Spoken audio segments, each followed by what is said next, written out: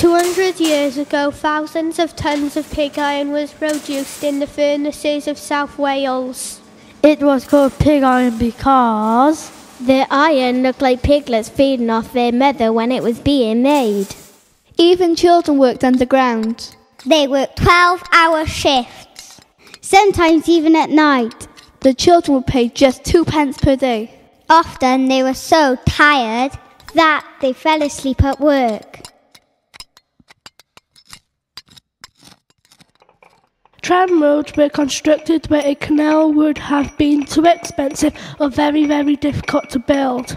Horses were used to pull the trams, which were filled with coal, limestone, and pig iron. They were built all over South Wales. Sometimes the tram roads needed to go through tunnels. The longest tunnel in South Wales was one and a half miles long. It was called the Pwlldu Tunnel and it can still be found at Blaenavon. Most people think a canal is a river, but a canal is something very different. It's man made. The men who made the canals were called navigators. They used picks, shovels, and wheelbarrows.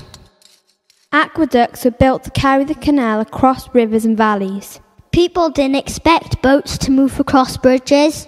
It was a fantastic sight to see. A lock is a water lift. Locks were used to make boats go up and down. 42 locks were built on the main line of the Monmouthshire Canal. 32 locks were built on the Crumlin Arm. Just over 200 years ago, Newport was a small town with about 750 people. Many people came to Newport to work. The canal and the Industrial Revolution changed everything.